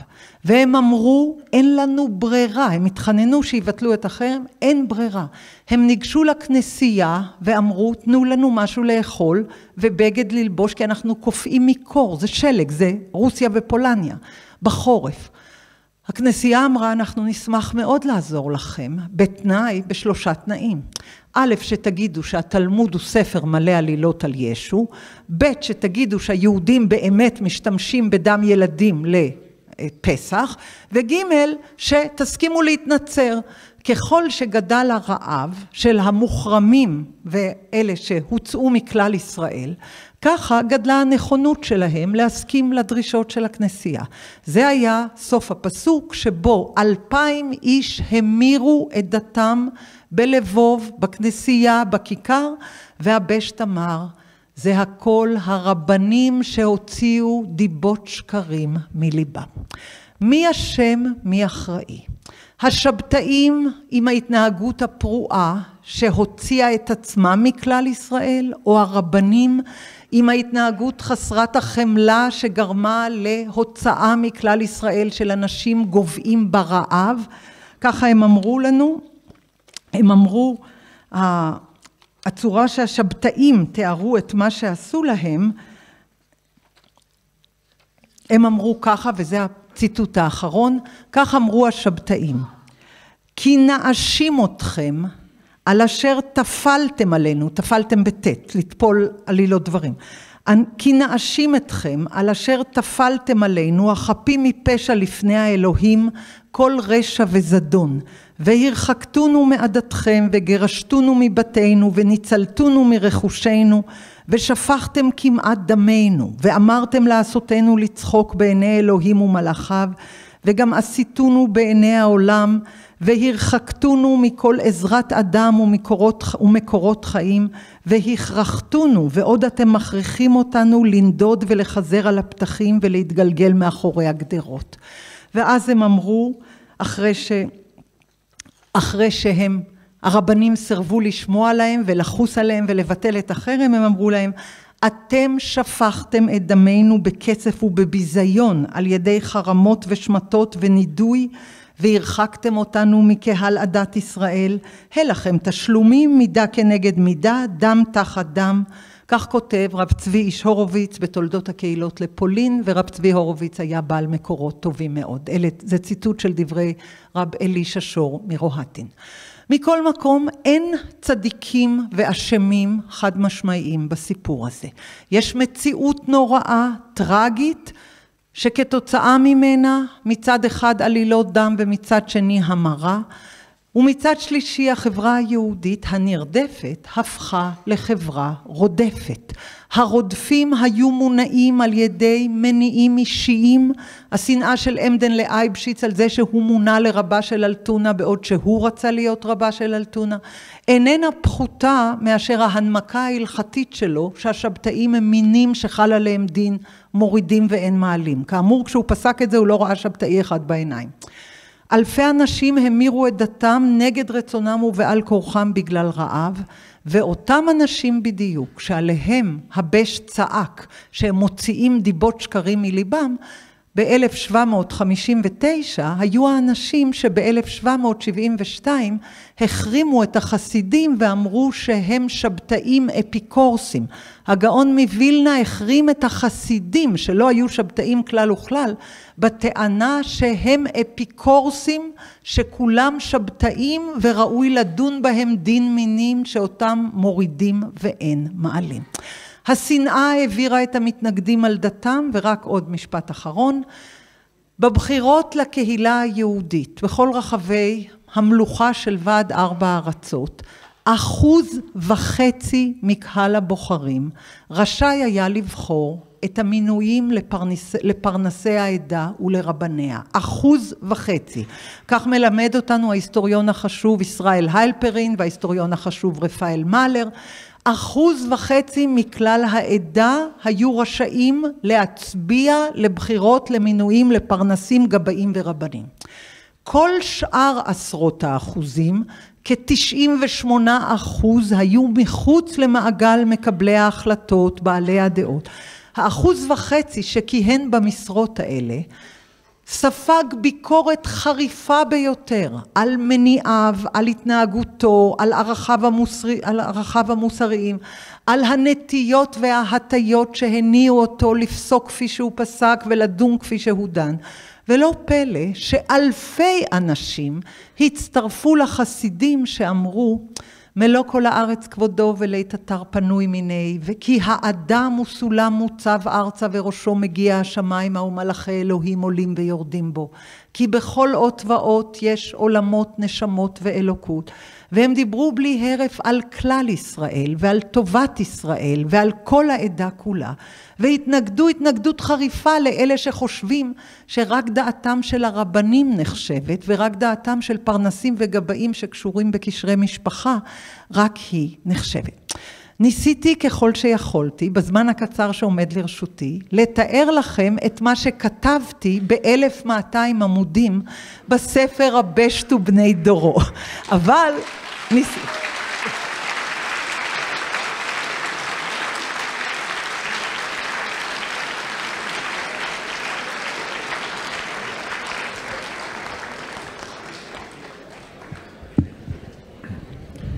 טוב, עכשיו כמובן יש זמן לשאלות.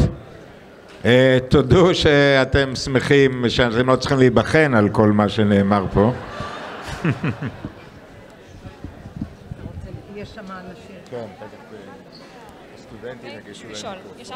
יש פה שאלה, למעלה.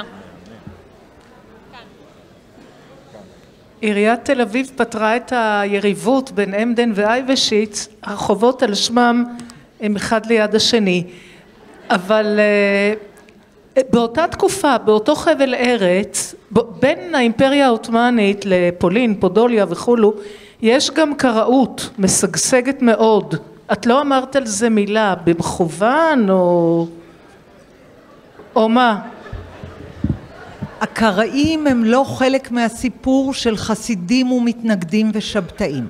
הקראים זו פרשייה אחרת, אבל היא לא חלק מהסיפור שאני דנתי בו, של ההתמודדות עם הקבלה, סליחה, עם הקבלה והשבתאות והמשיחיות מצד אחד, ועם ההנהגה הרבנית מצד שני. הקראים הם לא חלק מהסיפור הזה. יש פה עוד שאלה. אה, אמרת במהלך ההרצאה ששבתאי צבי עצמו לא ייחס כל כך חשיבות לה, להתאסלמות שלו ולצעד הזה שלו של כן. להצטרף לאסלאם ולא באמת אה, הלך על זה ברצינות. אז האם לא נכונה הטענה ש... שהוא התאסלם ו... וראה את זה בתור אידיאל כדי כאילו מה שנקרא להיכנס ל... לתוך הטומאה ומשם להוציא את ה... לנסות ולתאר אותה מבפנים. לא. מה שאתה אמרת זה הסבר בדיעבד שנים רבות אחרי ששבתאי צבי כבר לא היה חי. שבתאי צבי נהג לפי מה שאמר הרמב"ם באיגרת השמד ליהודי תימן הוא אמר להם במקום של סכנת נפשות כדי להציל את נשמתכם בהחלט תנהגו על פי הפסוק חבינה מעט רגע תמירו את דתכם עד יעבור זעם וברגע שתוכלו תחזרו. מדובר על האסלאם לא על הנצרות. שבתאי צבי אמר כדי להינצל אני ממיר את דתי לאסלאם כדי שלא יהרגו אותי. ואילו מאמיניו הצטרפו אליו כדי להעמיד פנים שהם מוסלמים, רק כדי להיות איתו. אני חוזרת ואומרת במפורש, כתבי אדון הגיעו בחלקם לידינו אין בהם שום אהדה לאסלאם, אלא להפך. יש שם משפטים קשים מאוד על המוסלמים, והם אומרים שם הם שקץ ונשותיהם שרץ, כל המתקרב אליהם הוא טמא וזה, הם יצרו בידוד מוחלט לגמרי בינם לבין המוסלמים, ומלבד העמדת פנים של לבוש וחרוזים ואמירות מן הפה לחוץ, הם לא ראו את עצמם בשום צורה ואופן מוסלמים.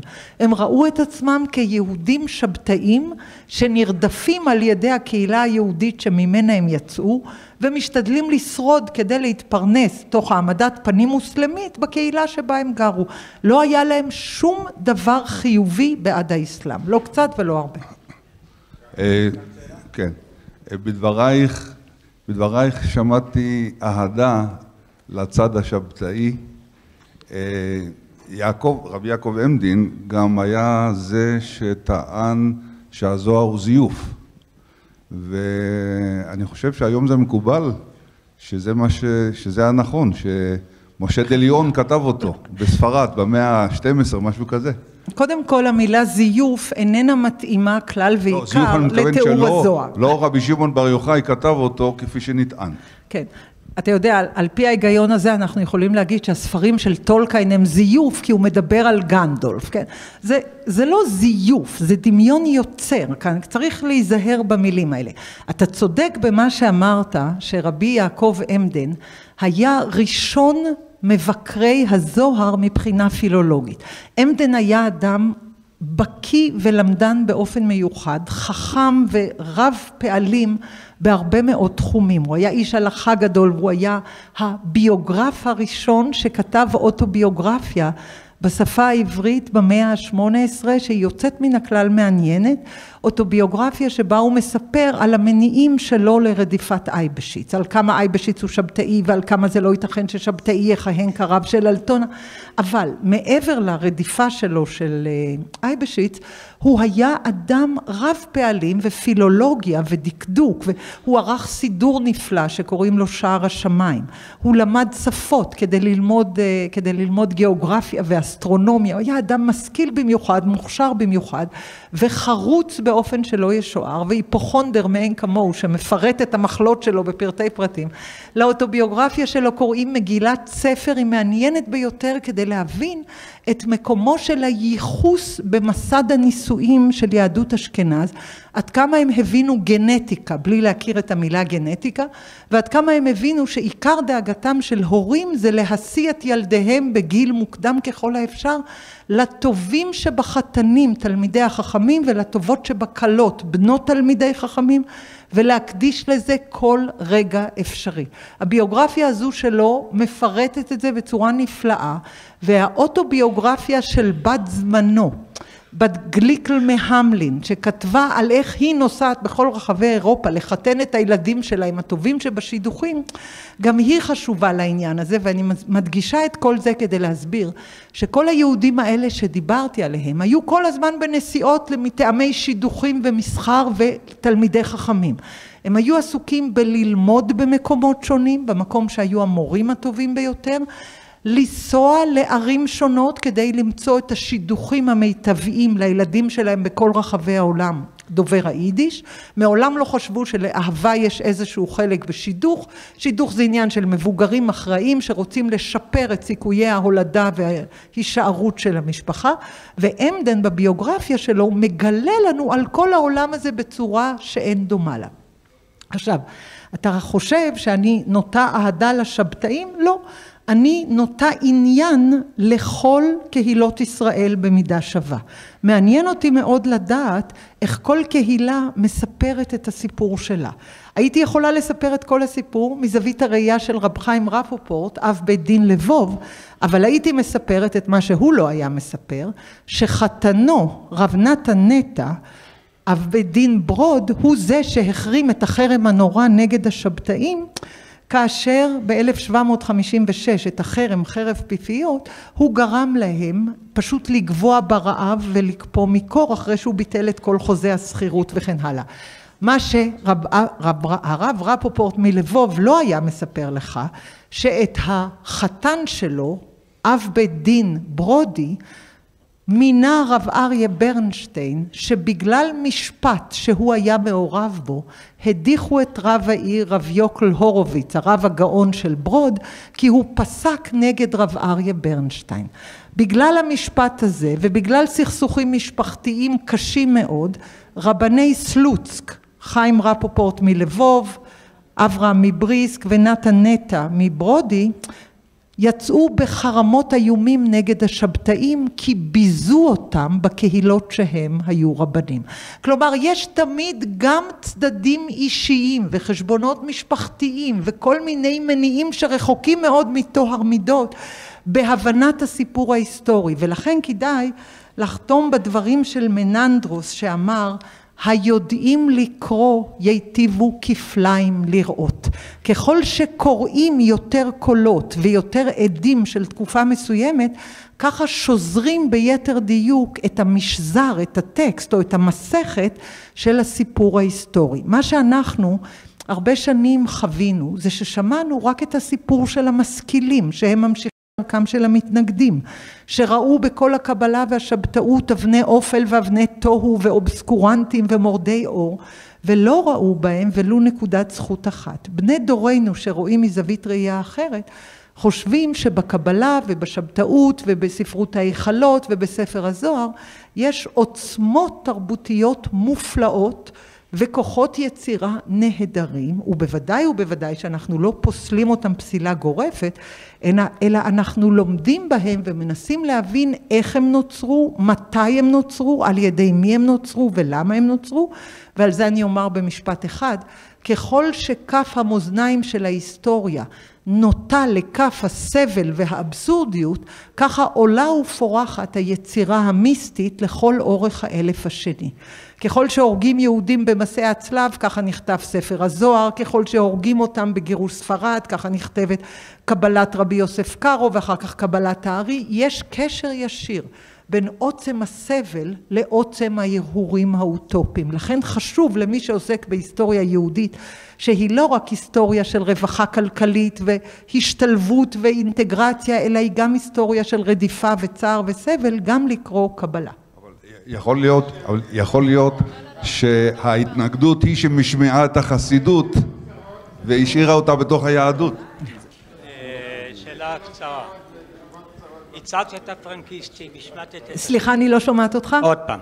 בעניין השבתאים באירופה, זה היה הפרנקיסטים.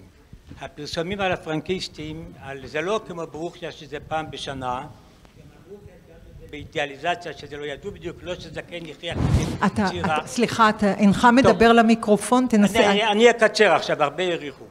הפרנקיסטים, הפריצות שלהם היא הייתה הרבה יותר גדולה מאשר אצל ברוכיה, וההתנגדות הייתה בעקבות הפריצות שפורסמה, וזה היה כבר קהלים ותופעה שהתפשטה, וזה היה המרכיב העיקרי בהתנגדות ובכל ה...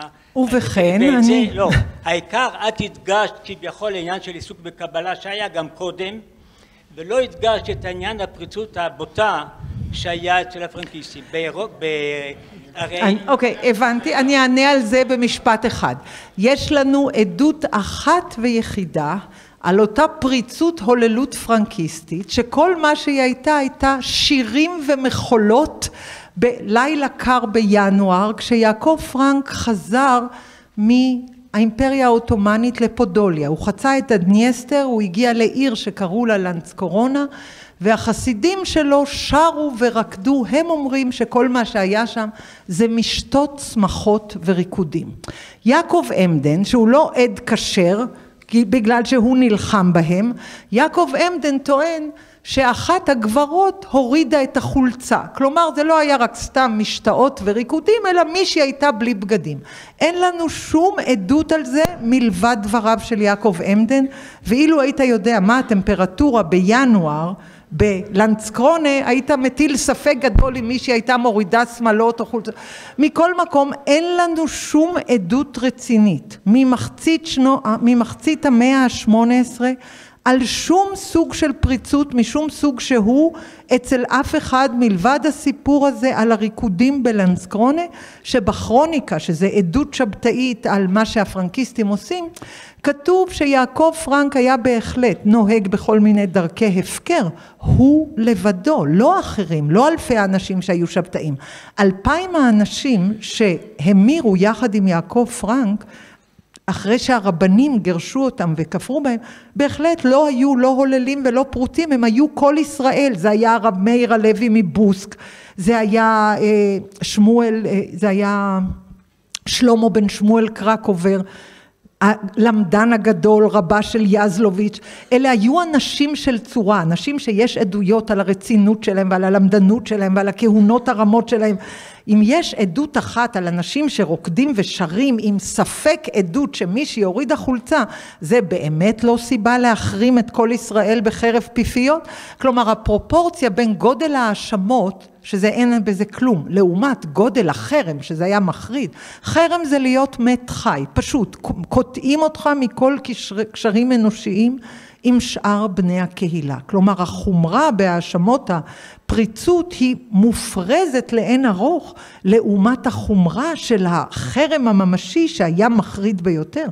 המורה השבתאי אלישע שור מרוהטין, זה המשפחה של בעל תבואות השור, זה רבני, הרבנים שור נכבדים ביותר, הוא אומר אתם טופלים עלינו עלילות שווא, זאת אומרת לא צריך כל כך לקנות את הגישה המשכילית הביקורתית על מורדי אור וצריך לקרוא בתשומת לב את כל העדויות כולם ולכן אמרתי שאני עוסקת בשזירת הסיפור או בשזירת הטקסט של מה היה שם מכל הקולות ולא רק מכל אחד.